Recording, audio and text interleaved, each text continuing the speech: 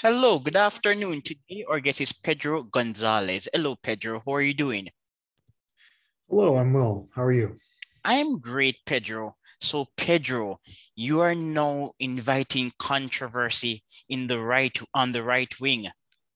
Is that so? Uh, that that is what people tell me. Yes.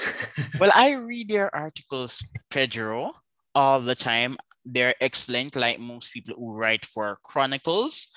And I must say, Pedro, that if one argues that you are a barrio Nazi, that's a bit racist because it's like saying people of your descent only eat barrios. yeah, that's well, a bar, bar, a barrio is it's like a ghetto. It's yeah. it's like the span, yeah. it's the Spanish word for ghetto. Yeah, I think. Uh, although I do love burritos, um, but in Ohio it's hard to find a good burrito. I think the the that whole thing with Ben Domenech from the he, he's no longer with the Federalists, by the way. I, I what no, what happened?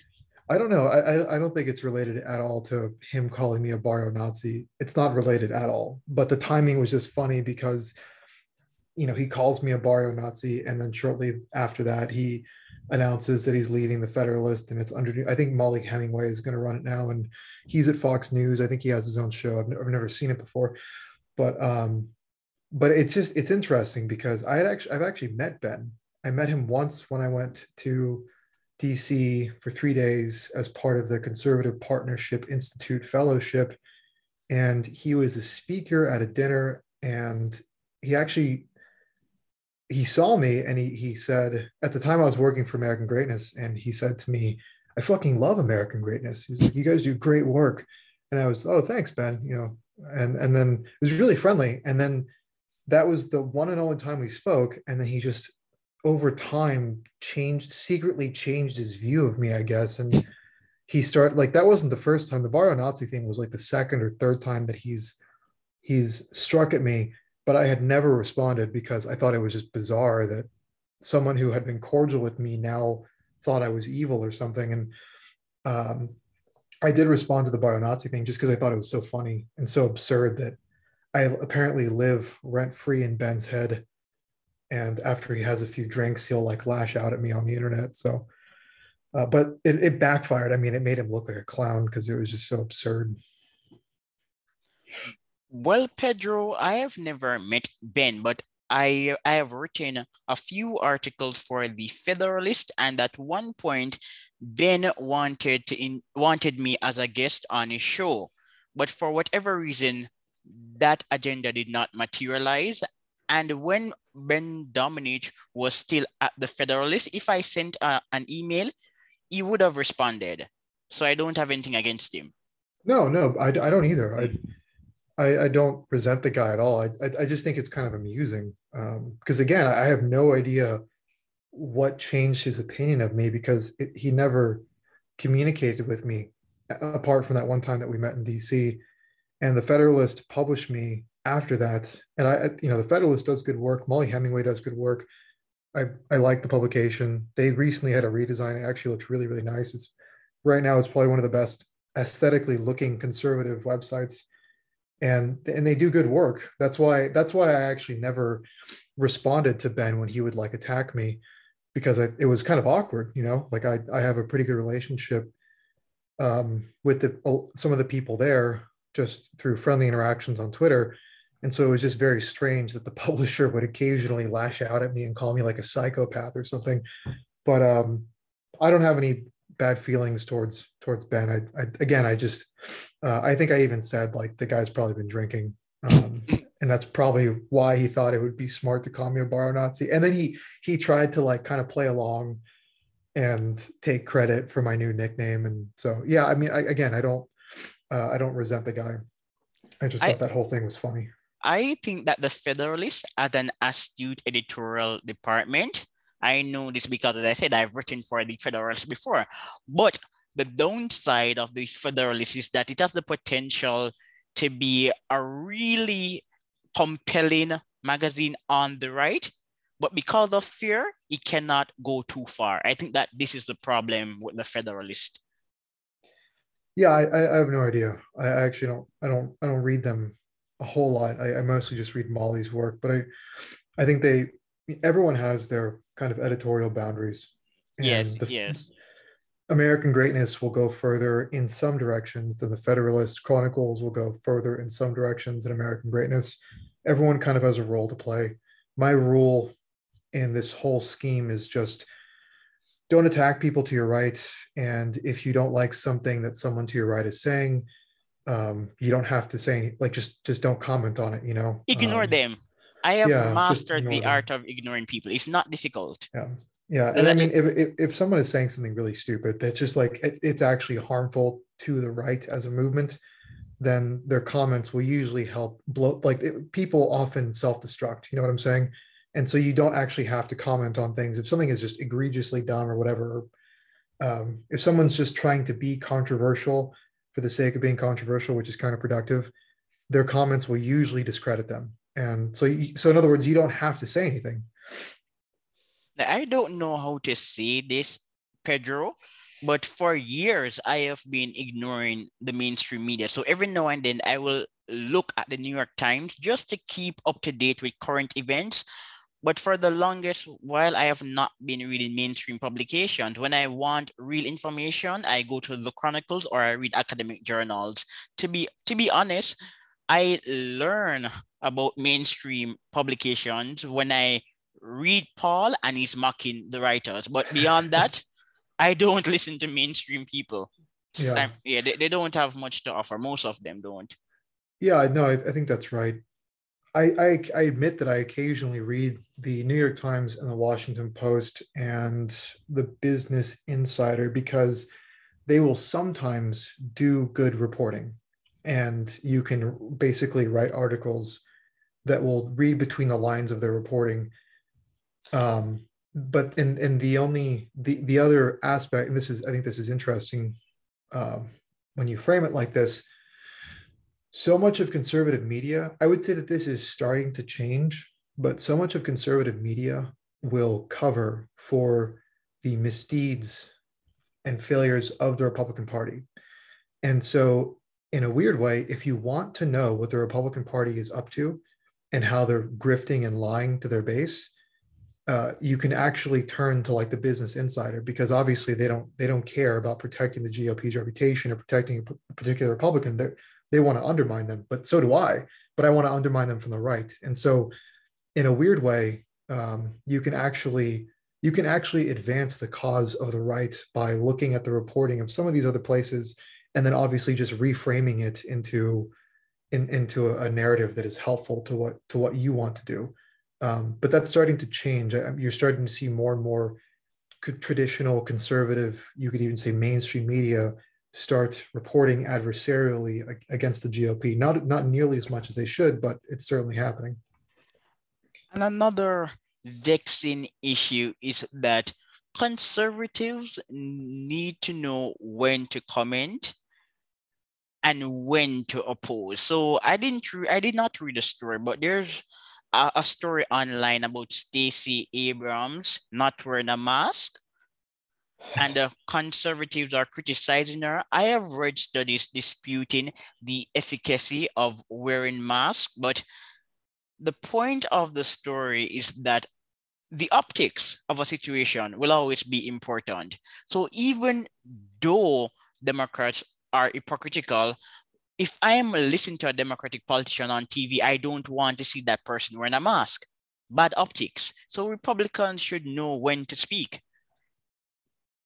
Yeah, I think. Excuse me. I think with that, the the whole thing, it's about hypocrisy, right, or double standard. You know, Stacey Abrams makes all these kids wear a mask, but she doesn't have to wear one. That just shows Democrats are hypocrites. It's like, yeah, we all know, we all know that they don't follow their own rules, but it's in a sense, it's not a double standard. It, it's a kind of hierarchy. Like they're just reminding you that they're more important than you are, and pointing that out doesn't actually do anything. There, there are very few people who are not already convinced that they agree with you.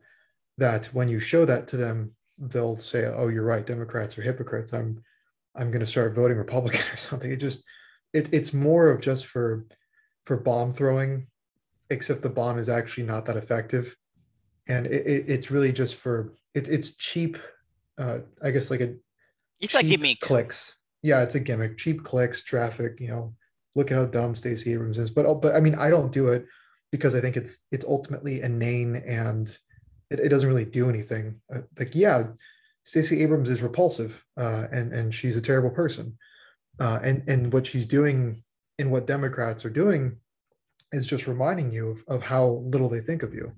So what are you going to do about it? Are you going to tweet, or are you going to you know find ways to to seriously undermine them and, and get them out of power? Mm the silliness of people on the right, but we're going to get into the meat of the matter by discussing your articles, starting with this article.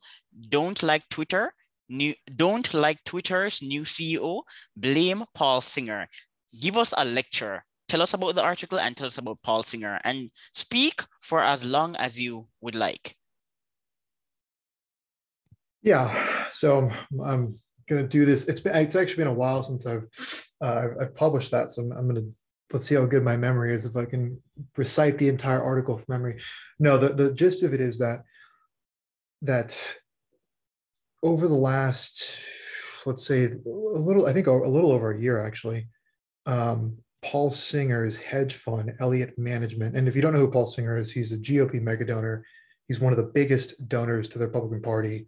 He has driven the GOP's um, uh, left wing tendencies. Uh, he, he's he's been a huge advocate of same sex marriage, and you know he, he really supports basically the LGBTs. Um, or sorry, the, G, the GOP's LGBT initiatives. Like he's a driving force behind that stuff. Um, and so Elliott Management is this huge hedge fund. And what, what Paul Singer is infamous for is, is for basically coming into companies that are struggling, uh, and then kind of um, changing things up really aggressively and uh, uh, kind of taking them over and then just doing things that are uh, described as, as vulturish. Um, and so he, he did this with Twitter. And so over the last year or two, Elliott Management has been basically getting more control over, over Twitter uh, by buying up shares, uh, by installing members of the company on, on Twitter's board. And it culminated with uh, Elliott Management, Singer's Fund, spearheading a push to oust Jack Dorsey, which they did so successfully. And the new Twitter CEO, Parag Agrawal, who is, I guess we can just describe him as progressive. He's, he's very left wing. He, I mean, his public statements are, are not ambiguous. You know, he doesn't believe in in, in free speech. He thinks that, um, and I mean, you can make an argument that it's a private company, whatever. But we'll get to that in a moment. But if you look at his public statements, you know, he, he thinks that basically the, the rules of Twitter should be based on what he calls harm mitigation. Um, and that, well, what is harm mitigation? And he'll say, well, we should look to the definitions that are put forth by credible institutions so as a you know as someone who's on the political left who do you think he, he thinks is credible you know like the who uh, the cdc but he actually goes further like one of the things i note in my article is that twitter's rule about uh, va- vaccine criticism uh, actually goes further than what the cdc even what the cdc would recommend um, and that rule that prohibits certain types of criticism about vaccines which they characterize as misinformation was actually stealthily updated in this last December. Uh, people only noticed it because uh, there, there's a there's an online group I think they're called Reclaim the Net, uh, and and through the Wayback Machine archives they looked at the Twitter's uh, guideline page, and they noticed that some there had been an update basically overnight to their rules about about misinformation, and they had added this they, they had amended it to say that you know if you criticize vaccines in a certain way, uh, you can be punished with up to a permanent ban. And which again, it, it, it even goes further than what the CDC would recommend. Which I'm not saying that you know I, I'm not saying that I consider the CDC like the last word and, or even credible, but I think it just shows you how zealous uh, these people are, and that matters because he he is in power and by extension his his twitter censorship regime is installed because paul singer put him there and so right after uh, parag takes over there are all these purges on twitter a bunch of accounts get kicked off MTG was probably the uh, the highest profile person who got banned from her personal account was banned. I think her her professional or her yeah her congressional account is still there, but her personal account that she was using a lot more got permanently banned. Uh, but again, all of this stuff goes back to Singer, and uh, there there was a new rule that was implemented under Parag, which is that it's, it's kind of funny because it in theory you would think like oh this is going to hurt the left. But this new rule is that you cannot post people's private information. So like screenshots of text messages photographs things like that without the other person's consent. So who does that? Who doxes people? The left right? The like the, the left has entire PACs that, do nothing but dox people. And um, so so naturally some people on the right on twitter were like this is fantastic. We're just going to mass report all these leftists who are in the business of doxing people. And twitter actually responded to uh, to what they called organized griefing. And so in other words twitter characterized it as a mistake that they had removed they had suspended left-wing accounts on twitter uh, that were reported by right-wing accounts for doxing so twitter was like this is actually an abuse of our policy. And uh, so that that's kind of shows you right like which way this is going. And around the same time a project veritas associated twitter account had published uh, a story with uh, it detailed the second cnn producer uh, because this followed another story. This was the, this is like the second time in like two weeks that a cnn producer was implicated in like a pedophilia scandal. I don't know how else to describe it. But basically, Project Veritas got their hands on these text messages that showed a CNN producer, I think for Jake Tapper's show, that showed uh, he had been um, fantasizing about his fiance's daughter sexually, who's a minor, and that he had request solicited like inappropriate pictures of his, this the source's daughter who is also underage. Um, and the source who i think was like a former lover of his um, went to project veritas after she went to law enforcement and was like you know i'm i'm communicating with a guy who's literally fantasizing about two underage girls uh, and and like even asking for pictures and stuff. Um, and this twitter account that was associated with project veritas published a story and then it got kicked, it got banned from Twitter. So all, all of this is happening under the Twitter CEO that is only in power because of of Singer and his his you know his um his response to to the question of are you in charge of policy at all do you have a hand in policy at all because singer is notorious for for trying to be engaged in everything uh, when it comes to a company. And, and his response is, well, no, there's like a firewall between me and, and Twitter, and I have nothing to do with policy. But, but that's that's not true. Personnel is policy. So you know who you select to be the CEO, uh, who you greenlight to be the CEO of a company is, in essence, policy. Uh, and, and again, all of this all of this and, the the takeaway from my article is that this is actually really illustrative of the problem with the GOP. You can vote until you're blue in the face, but the Republican Party cannot be expected to change as long as it is beholden to people like Paul Singer, their donors, in other words. That is why the political infra- the, the political infrastructure does not change. The faces might, you might get a new person in there or whatever, but as long as Paul Singer is still the one, guys like Paul Singer are still the ones that are really, you know, pumping blood into the GOP, uh, you're, you're not really going to change anything. I think that this paragraph will give your lecture some arsenal. And I read, just before Singer and Elliott management launched the effort to oust Dorsey, New York University professor and Twitter shareholder Scott Galloway wrote a scathing letter to Omid Kordestani, the company's executive chairman. Galloway, who has called on tech companies to explicitly brand themselves as liberal, demanded Dorsey's replacement and threatened to remove any directors standing in the way. Yeah. Yeah. And the point that I was making is that even if it's not intentional, although you you, you can argue that it, that it was whatever, but even even if we say it was not intentional, nevertheless, Singer's actions overlapped with the interests of the political left in bringing more censorship to Twitter. And another point that I make is that that professor was, by talking about Russian disinformation on Twitter, uh, was appealing to this atmosphere of paranoia to which you could argue Singer contributed because, as I note in my article, Singer allegedly, or I should say, the Washington Free Beacon, which receives significant funding from Paul Singer, originated the salacious Russian dossier um, through a partnership with Fusion GPS. That that was actually the, the the starting point for that dossier. Now Singer and the Free Beacon deny that that ultimately this kind of their early role in it was significant.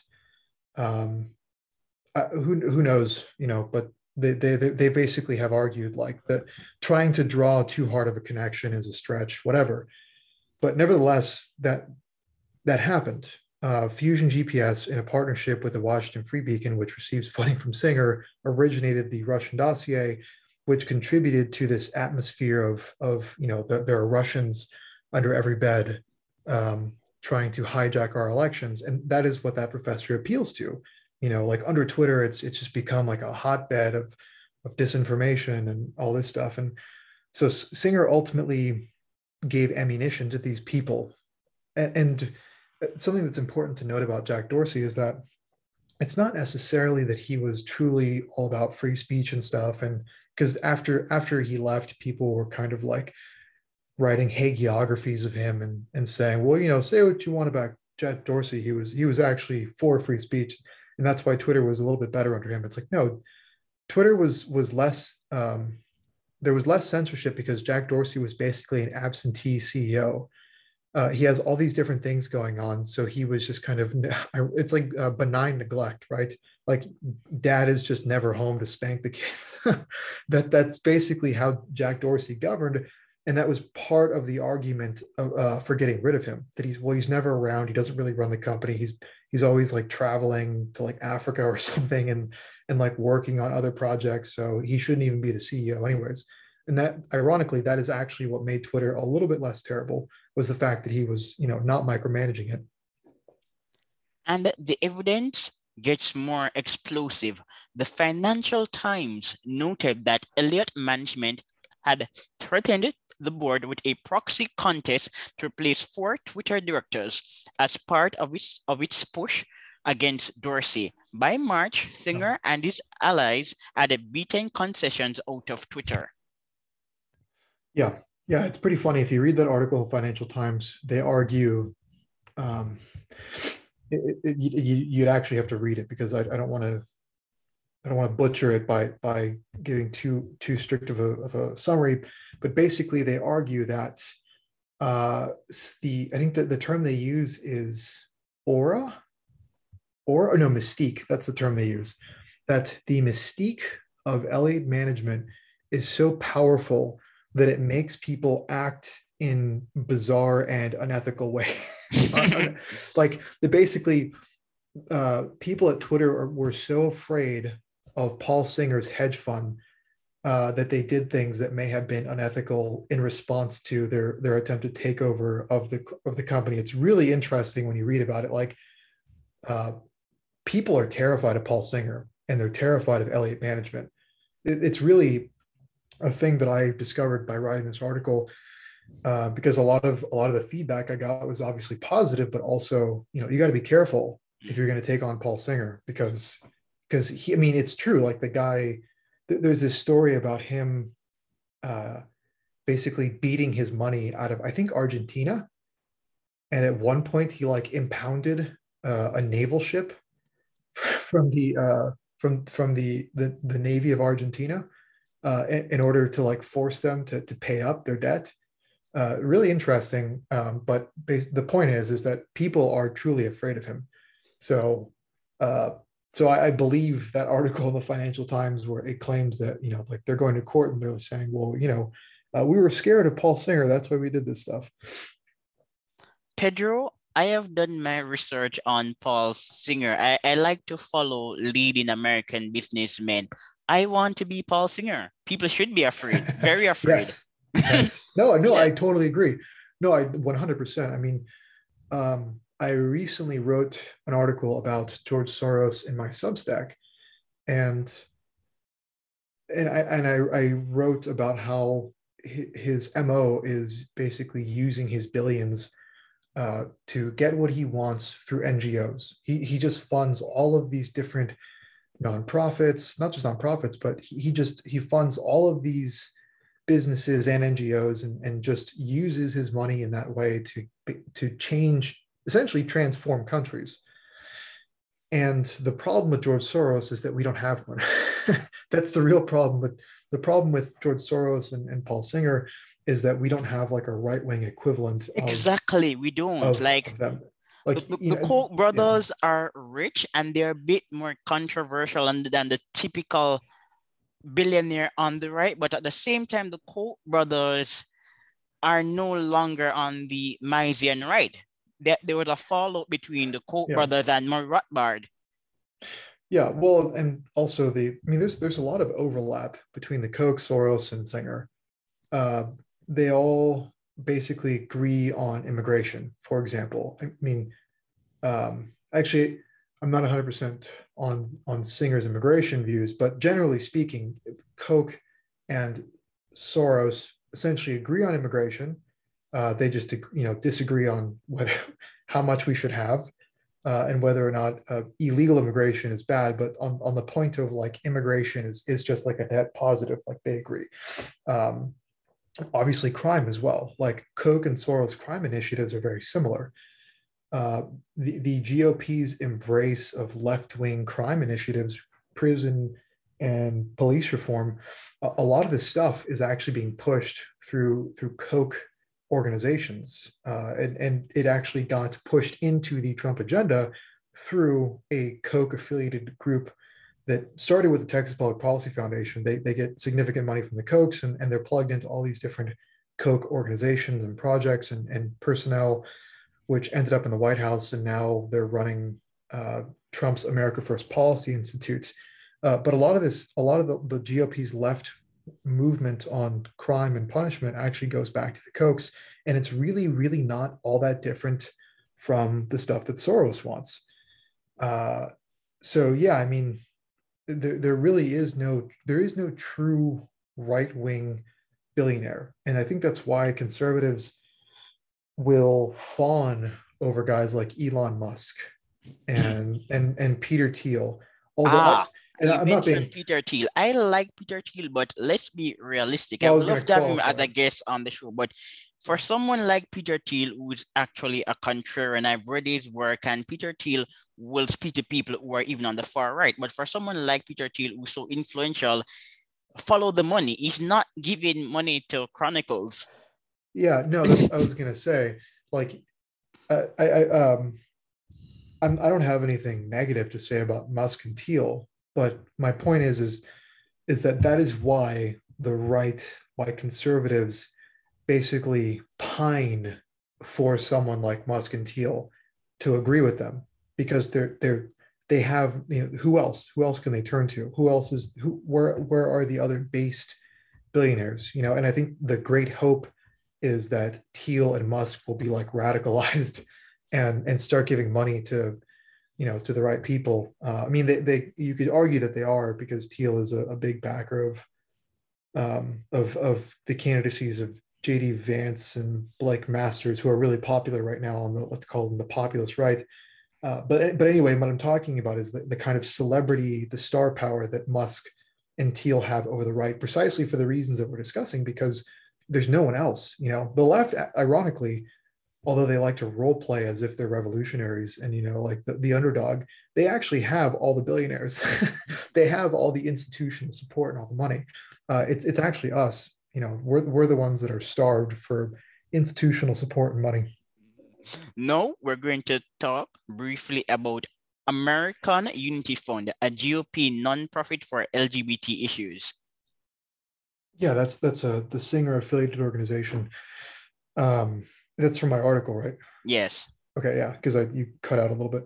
Yeah, um, so this goes back to what I was saying initially about Singer that he has been a driving force for the GOP's embrace of the LGBT agenda, and I think much of it has to do with the fact that one of his sons is gay, which is fine, except you have made your entire you've made an entire political program around that, right? And and what that entails is also demonizing people that are socially conservative within within the GOP, within with within the right. Uh, people like me are considered, you know, terrible because we don't think that LGBT advocacy should be a plank in any right wing movement. It's just absurd. Um, and uh, the point that I make in my article is that although people think that there's this real friction between Trump and Singer, I mean, there isn't. There was initially, but obviously that stuff got worked out. And the, the point that I make is that through one of these Singer funded LGBT groups, the the seeds of the the Jenner candidacy in California were sown. And so that was actually the starting point for what became the Jenner for governor uh, candidacy in California, which it, it that kind of marked a union between Singer World and Trump World uh, in a very public way because, like I said, the origins were um, where Jenner met Singer people through that Singer fund, and then it seems like that got the wheels turning. And then when Jenner decided, you know, that to, to launch this campaign, the the staff, the personnel were drawn entirely from Trump world former Trump White House officials and former Trump cam- uh, campaign people ended up uh, comprising the Jenner team. So, yeah. Excellent analysis. Analysis. I really appreciate your article. But we're going to move on. But before we move on, I must state briefly: immigration is, is associated with economic growth and entrepreneurship, but many of these studies are exploring the exploits of immigrants from European countries and some East Asian countries. I am not against immigrations, however, I'm not in favor of open borders. If we accept the purpose or the role of the state, then the state must be allowed to create laws pertaining to immigration. Furthermore, only Western societies are compelled to open their borders. Now I'm saying this to comment on an article you wrote titled, titled Lobbyist alleges Cato Institute mer mercenaries are paid to push pro-immigration studies. Yeah.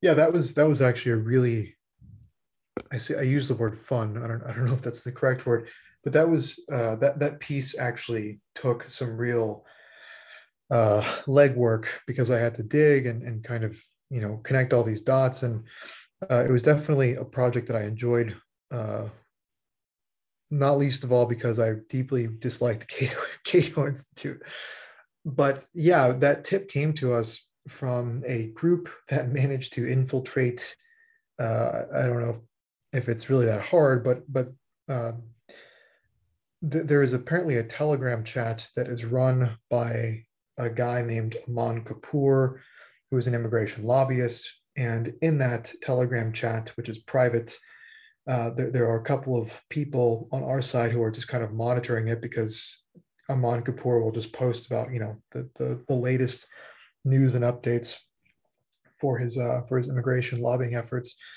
And we received a screenshot of a message that he subsequently deleted where he talks about he's basically complaining that the Cato Institute, uh, that that a particular scholar at the Cato Institute had taken money from him, and he, he's basically saying, you know, people think that this person, this scholar, um, is is doing this research out of the kindness of, the, of his heart, but you know they don't know that these guys are just. He actually, it's ironic. He describes them as mercenaries. It, it, it's a corrupt guy who's complaining about another person being more corrupt. You know, it's like the unethical guy complains about the unethic the, the bad ethics of another unethical person and um, and yeah, Kapoor is just complaining that that you know he's not doing this out of the kindness of his heart. Uh, we we subsidized his work. We basically helped launch his career by paying him to write this stuff under the table, and and so we we or I I looked into it and I created a kind of timeline that that corresponds with the claims that Aman Kapoor was making about this scholar. His name is David Bier, and we I just kind of drew circles around it because a lot of this stuff is really difficult to to nail down, and it's also not even it's it's also not even I don't even think you could say it's illegal. It's just obviously unethical and slimy because on the surface this is you know an independent research group. They're they're very serious scholars, very prestigious, uh, but at the end of the day, they're just mercenaries, like Aman Kapoor described them, and the the, the really the jumping off point for that story was the fact that um, this had actually happened before in the, I think, the early 2000s, where a Cato scholar named Doug Bandow had taken money from the infamous lobbyist Jack Abramoff. He had, he had been taking money under the table. So the money was not reported to the Cato Institute. The, the relationship was, was totally hidden from the Cato Institute. Um, and that's important. I'll get to that in a sec. He had been taking money from Jack Abramoff to write favorable columns about his clients. And so he, he got caught doing this because Abramoff was being investigated and they found these payments. And the Cato Institute uh, fired him. He, they either fired him or he resigned, but he was subsequently rehired. And that when I remembered that that that had happened, I thought like this is exactly the same scenario, because Bandow's Bandow's um, his his comment to the press was like, "Well, I, I was writing about things I was already interested in. I was just taking money from from Abramoff while doing it, and you know, ba- basically, it was like a little side hustle for him. But the fact that he wasn't disclosing it is what got him in trouble because you know, it's again, it's highly unethical.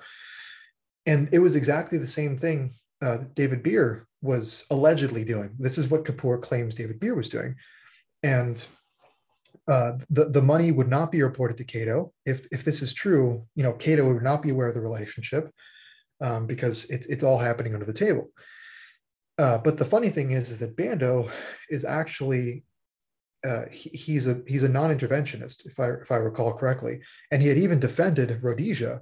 Uh, he had argued that that that Rhodesia like that Rhodesia should not be subject to sh- uh, sanctions and stuff. And so, in a way, I, I almost felt bad using Bandow to build my argument because it's like I, I like him for his foreign policy views far more than I like these immigration mercenaries. But but that that's basically what the article was about in a nutshell. And Cato Institute never responded officially. Uh, I, I, did get some mean tweets from Alex Nowrasteh and then some other senior senior guy at Cato who called me an ass and then subsequently deleted the tweet. he, he he called me an ass and said uh, that we have you know strict policies at Cato that prohibit this kind of stuff. Because again it i don't think it's illegal. I think it's just extremely unethical right? And and so he had said like you know we have policies to make sure that this kind of thing doesn't happen. And I, then i was thinking to myself like wait you guys rehired Doug Bandow though. You know you uh so it's like do, do you have policies? But i think that's why he actually deleted it or that or because he called me an ass. But anyways uh, they never responded to it officially. Doug Bandow is still uh, an esteemed scholar. I yeah. read Doug Bandow, yeah. Doug Bandow every now and then. Yeah. And that's for Alex. I read Alex all the time. Some years ago, I actually met him. I went to a, a seminar that was sponsored by the Cato Institute, uh-huh. and I've interviewed many people from the Cato Institute. So I don't have anything against Cato. I actually like Cato's publications yeah, I like I said, I, I I dislike. I mean, Alex is. I try try not to swear too much, but Alex is just thoroughly unlikable. Uh, and there's a strong, there, there's um, well, I'm, I'm not going to say too much more than that, but I mean, the guy is just like reprehensible. Uh, but like I said, Bandow, I don't, I don't have a problem with Bandow. Um, and I like, like I said before, I almost felt bad for for having to use him to illustrate like this is not actually unprecedented. Cato has done this before. Uh, because Bandow, I think, actually does good work. He's he's a he's a non-interventionist on foreign policy, but the, the problem with the immigration side of Cato is that not only do they publish these studies that I think are, I mean, I, not that I think, that are in fact harmful to American workers, but they're also vicious. Like Bier and Alex will accuse anybody who disagrees with them of being racists, you know, being bigots, of being xenophobes. They're disgusting. If they if they can't uh, if they if they can't make a point, they'll just call you a name, and then if you fight back, you know, they'll they'll they'll scream bloody murder. Like it's it's I have nothing but uh, nothing nice to say about the immigration people at Cato, uh, unlike Bandow. So, all right then, interesting point, but we we have to move on a bit. Douglas Murray, you also you also have a piece on Douglas Murray. I don't have a I don't have anything against Douglas Murray, but Pedro, what's the purpose of conservatives like Douglas Murray? Nothing. I don't know. No one. Uh, apparently, we need them uh, to win to win something. Although no one no one can explain to me why we need. Um, did, sorry, did you did you call him a conservative, or did you say why conservatives need him? I, I, I called him a conservative. Okay. Yeah. Well, I, I don't know because, uh, I mean, well, Douglas is a neoconservative in the first case. Like he, he literally wrote a book called Neoconservatism: Why We Need It. Uh, that's actually a, a book that he wrote, I think, before the Strange Death of Europe and he, he's actually affiliated for with the Henry Jackson Society, which is this uh, British neoconservative think tank. Uh, one of the members on the board, uh, one of its directors, is um, he actually worked at Paul Singer's hedge fund until 2019. He had worked there for over a decade as a senior portfolio manager so I mean, there, there's a whole like the, the, there's a whole connection there uh, with with with neocon world. Um, but it's funny. I actually have one of I, I, think I actually have one book from Murray, and it's The Strange Death of Europe. I say I think because I'm, i might have another one. I'm not sure, but I, I have The Strange Death of Europe, and you know I, I had been aware of him, not super. I I kind of forgotten he existed, frankly. Uh, but I, I, was briefly familiar with his work, forgot he existed, and then was reminded of his existence when he attacked me. And but but the article that I wrote was not about him, his attack on me. It was it was about an article that he wrote for UnHerd magazine, which is another British publication. And I, I mean, you have to read what he wrote, I think, to understand why I wrote a polemic in response. I read he, some he, of it. I didn't read all of yeah. it, but I understand the context. Yeah. He well, it's more for your audience basically he he writes a piece where he's he addresses what he claims is a very serious problem. Why won't reasonable liberals like Bill Maher and Bari Weiss ever identify as conservatives, although they feel alienated by their natural friends on the left? And it, all this was revealed to him when he was invited to the National Conservatism Conference uh, in Florida last year where although it's it's I'm sorry, it is incredibly pompous. Like it, it is so arrogant the way that he writes. He's like, "Well, I attended the conference, although I only agreed with one third of the agenda, and I was asked to be a speaker, but I settled for the position of a panelist instead." It's like, "Oh, thank you so much for blessing the audience, you know, with with your presence," and and you know, as he's sitting there at a conference where he only agrees with some of it, and, and you know, he he humbly is a panelist there. He's listening to conservative scholar Patrick Deneen talk, and he this is how he writes. And it was while listening to him that I I found myself in considerable disagreement with him, and I realized why people like Bill Maher would never in a million years join the conservative movement. And then he writes this this Jeremiad against people like Patrick Deneen. And the problem in a nutshell with the right to Douglas Murray is that it's is that it is not the left. it, it, cares it cares too much about religion. It cares too much about traditional patterns of life. It cares too much about basically decency. And and this is important. Like one or two paragraphs down, because it's important to note that he uses Deneen, and you know, Deneen is I think Deneen's a good guy. Um, he's he's he's he, I think he's just a decent person, but he uses Deneen as a kind of foil. Deneen is where the article turns, and he starts attacking conservatism. And one or two paragraphs after he, he cites Deneen speech is, is like the moment that he had an epiphany. He says that the reason Bill Maher and Bari Weiss would never identify as conservatives is because of who they would have to associate with.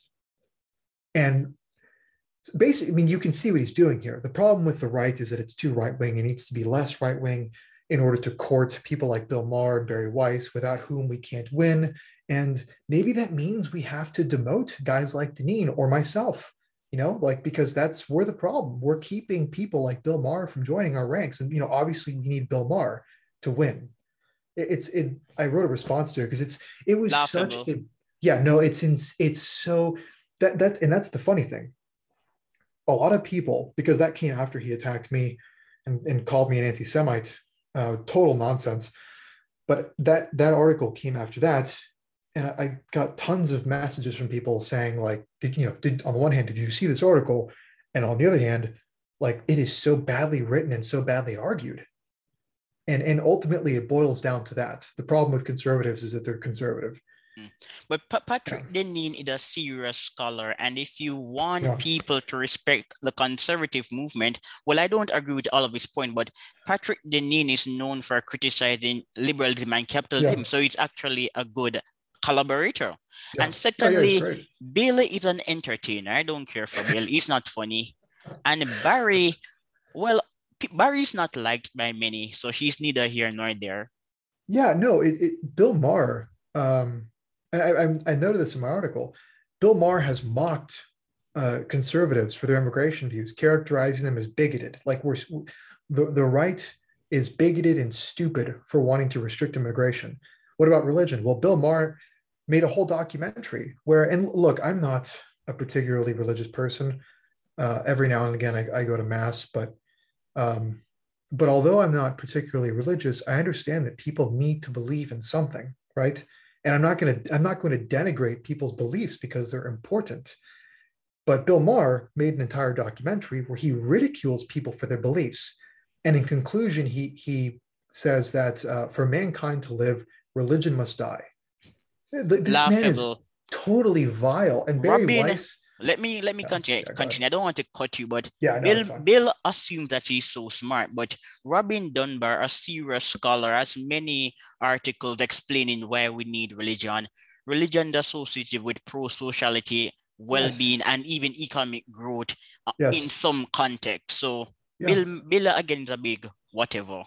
No, it, it's it's not just that you know he disagrees with people's religious beliefs it's that he has to he feels the need to mock them and destroy them and that is who we need to accommodate on the right it's again it's very difficult for me not to not to swear left and right uh, and then Bari Weiss is a hypocrite. You know, she she complains, and so is Doug, Douglas Murray. Like they complain about cancel culture, and then they scream murder at anybody to their right. You know, anti-Semite, racist, bigot, whatever. Like uh, they're the they're the worst perpetrators of cancel culture. They they just they just target people who are to their right, and they appropriate. You know, like like Weiss is now a truth teller because she went on Bill Maher's show and said, "Well, you know, I'm not really comfortable with vaccines or some shit. I, I don't. Vaccines are mass, but anyways, it's like that. That was a moment where people were like, "Oh no," you know, like, uh, or not "Oh no," but saying like, kind of praising her, and it's like, wait, you're praising this woman who punches right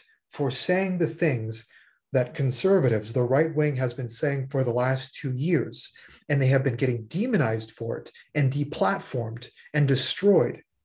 You know, it's kind of like, do you not see what, what's happening here? These people are pulling out the rug from beneath you and then trying to claim credit and then canceling people to the right. And anyways, yeah, I mean Robert Woodberry, you know, he has a study on Protestantism and he also has a different study on religion and it's a relationship to development in Botswana. So people yeah. like Bill assume that they're so smart, and this is why I'm citing the data.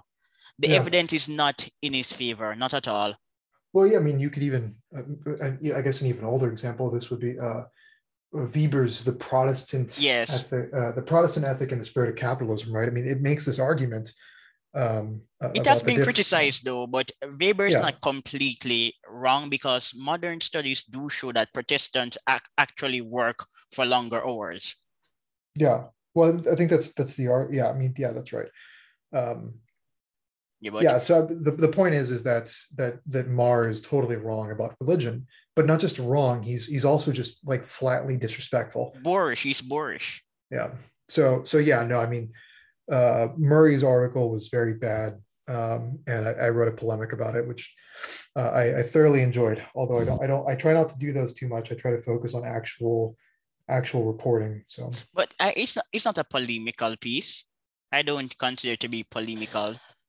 yeah uh, well i guess good Yeah, remember, I, I don't people should not misuse words. I get what you're saying. It's a bit argumentative, but polemical pieces are more emotional than logical. I think that maybe it also comes down to a matter of interpretation. I, I, I- I don't use polemical uh, in a negative sense at all. Okay. Um, I, I, I, I actually I, I got my start mostly just writing kind of angry commentary, um, but I shifted away from that to focus on something I think the right does not do nearly enough of, which is actual uh, journalism, actual reporting, kind of like stuff that I did with Cato and with the Paul Singer stories. Like I, I don't I don't think we have enough of that. Um, and that's obviously very different from simply writing your opinion about something. And do you know what's also lacking on the right? We Hmm. don't have enough people anymore writing academic pieces for a public audience that are not related to political events. So remember recently I wrote a piece on polygamy. Many of the Hmm. pieces that are, po- yeah, you're, yes, you're laughing because that was really for an academic audience. Mine is published it. But many of the pieces published today are just political and entertaining. They, they, they lack a bigger picture. yeah, that's why I like Chronicles. That's that's why they have been so influential in my thinking and the way I write. Because the typical Chronicles piece will usually take something from current events and then place it in the context of a much bigger story. And you know, th- this is what Paul does. Like Paul wrote a piece about dri- driving Miss Daisy, uh, this this old movie, I think with Morgan Freeman, and uh, I think the the title is like driving this racial activist, and and so Paul uses. I guess he he watched that movie again, driving Miss Daisy, and realize that a lot of a lot of the narrative in that movie about the relationship between Southern Jews and blacks is just like not true at all, and so he actually wrote a kind of like a history of Southern Jews and blacks and stuff uh, in Chronicles recently. But it starts off again with Paul just describing how he was.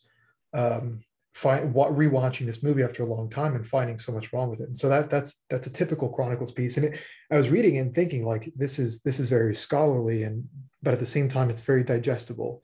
Uh, anybody can read this and and come away enlightened. And I think that's that is the typical Chronicles piece. And another publication that I think does this. Modern age? Uh, I actually I don't read them uh, very much at all. Um, I should subscribe to them, but uh, I- don't have anything bad to say about them. I, I think they uh, I think they do good stuff. Uh, but it's actually Telos is what I was going to say. Okay, Uh, yes, I know it. Yeah, I think they, they do some really interesting stuff. I'm actually, uh, I just cracked open their summer 2021 issue. It's on global perspectives on constitutionalism and populism. It, it's actually quite interesting, and um, it's it's again they'll they'll usually take like current events and then frame them in, in the perspective of these uh, these these much bigger questions uh, on, of theory and philosophy. I, think it's actually a very good journal. I, I kind of want to submit something to them. You should. Martin Luther King, Pedro, Martin Luther King was a great man, but if you respect a great man, one must engage in the impartial assessment of his legacy, the sordid legacy of Dr. King. Yeah. Yeah, that that was uh, another iconoclastic piece that I enjoyed writing, and I think we published it on MLK Day. So basically, in 2019, a MLK historiographer named David Garrow published a story in a British journal called Standpoint, and he basically outlines all this new research about MLK that he claims comes from these never before seen FBI files. That a lot of this stuff will be unclassified and made available to the public in 2027.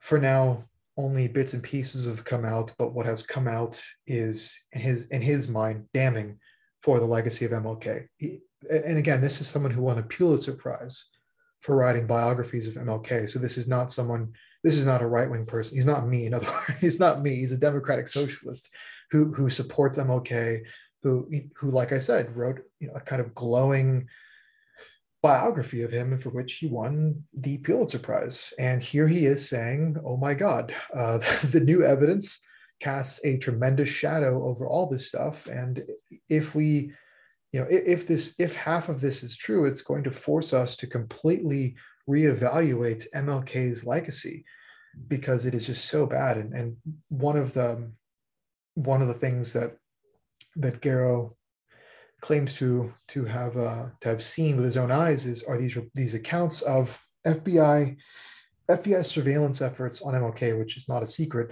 uh, but he, he notes this importantly. A lot of this stuff was never supposed to see the light of day, and so the the surveillance on the one hand and the notes that FBI agents were were kind of scribbling on the other hand it, it they did not do this stuff thinking that you know the public is going to know what I'm writing here in the margins. So it's, it's and his point is like you cannot easily argue well the FBI was just trying to defame him uh, because these agents had no idea of knowing you know that this stuff would ever ever see the light of day. So it's interesting because he makes that point like three or four times in this long article. You know, kind of kind of actually uh, playing devil's advocate for the FBI, and uh, but it and in one instance, uh, a, a, parishioner is being raped by a, a, minister in front of MLK. It's a female parishioner that the, this minister brought, who's a friend of MLK. I don't remember his name right off the top of my head, but uh, they, they brought these women to a hotel, introduced MLK to them, and then um, this woman is being raped by the minister, and MLK is laughing and offering advice according to these FBI files and, and the notes that Garrow reviewed. And uh, the, like that's just one example. There's there's all this other stuff, all these other similar examples of basically MLK being a witness to uh, sexual assault, to rape, uh, and then just kind of either laughing about it or talking about it. There's there's another example where a woman protests, uh, kind of being coerced into having sex with another one of these guys, another one of MLK's friends and MLK uh, starts talking about how she can be kind of disciplined and made to enjoy the sexual acts that she's being asked to do, uh, asked to do. Uh, and so this came out in 2018, but it was basically forgotten. Not not forgotten, but it was memory hole for obvious reasons, right? Uh, no one wants to talk about this. And th- this should have been an explosive story, like you know, hold on, everywhere. Hold on, Go Pedro. Ahead. Remember, yeah, Martin Luther King also impregnated a married woman, according to the FBI report.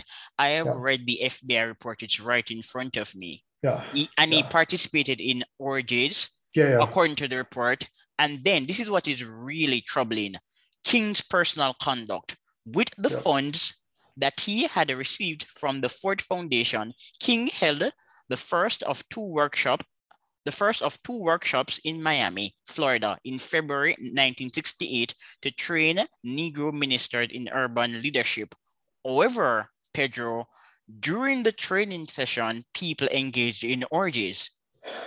Yeah. One Negro yeah. minister in attendance later expressed his disgust with the behind the scene drinking, fornication, and homosexuality that went on at the conference. Yeah, no, it's really, really messed up. And my article only scratches the surface. That, that, and that's what I was talking about, and that's what Garrow was talking about. Like this is, you know, this is just the the surface of what is to come about. There is more to come. There is more yeah. to come. Yeah, and I mean, it is just the little bit that has come out, and the little bit that I resurfaced in my article uh, is already really horrendous. So yeah, I mean and so why did I do this? Because MLK is kind of like an important myth for the incumbent political order.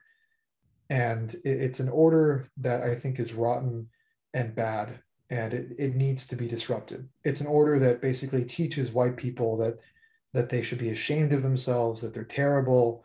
Uh, it, it seems to provide a lot of justification for things like critical race theory.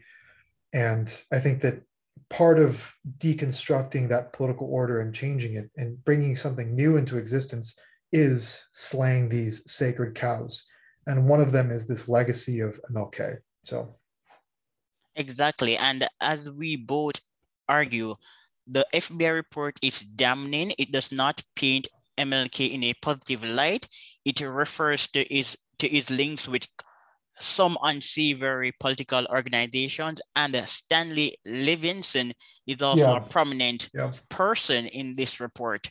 Yep, I, I actually want. I'm. I'm. At, we'll probably be doing a follow up soon based on some new some new documents that some people uh, I'm, I'm supposed to see at some point in the near future.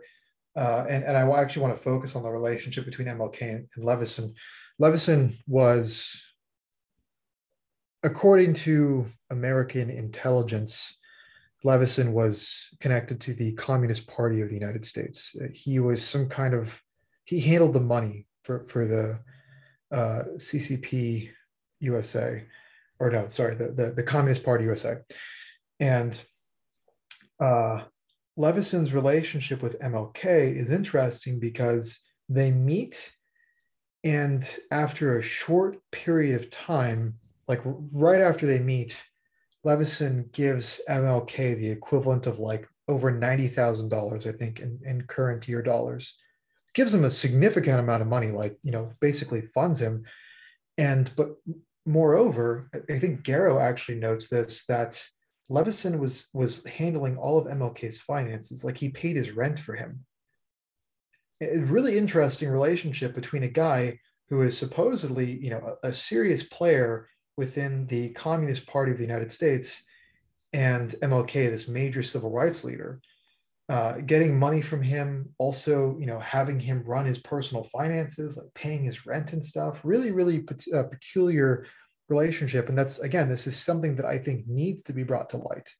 Uh, th- this, on the one hand, because it undermines the idea that, you know, there was never any serious communist infiltration of the United States, which is totally untrue and on the other hand that, that mlk was some kind of a saint. It's like no not only was he an absolute pervert and a degenerate which he just factual it's just factually true. I'm sorry. That that's those those words are not hyperbole that they accurately describe the man and his actions. But on the other hand that he he was being uh, subsidized by some really bad people. Yes, Levison, a radical businessman who was affiliated to the Communist Party. Remember, Martin Luther King is a great man or was since he's dead, but many great men are not good men. Yeah, I think that's that's a fair way to put it, right? Uh, I've, I don't know where I've heard that before, but I've heard that saying before. Um, but again, the the problem with MLK is that uh, I guess the the morality of the myth of MLK, I, I think, is just it's it's counterproductive. Uh, it, it seems to to justify all kinds of bad things that happen today. Yes. You know, well, MLK would want us to pick a Supreme Court justice uh, based on race, you know, or, or MLK wouldn't want us to ban CRT or something like that. Um, it, it's just, uh, and, and, I say I say that because again, conservatives like to latch on to the whole uh, judge a person by the content of the character, not the color of their skin. MLK explicitly said, no, we should actually hire and judge people based on their race, on their race. Like uh, he he would have been for affirmative action. He would have been for CRT. He would have been for all that stuff. All right. So unfortunately, Pedro, I have to wrap up. So I have so I have to say bye. But this conversation has been awesome. Bye, Pedro. Thank you, Lipton.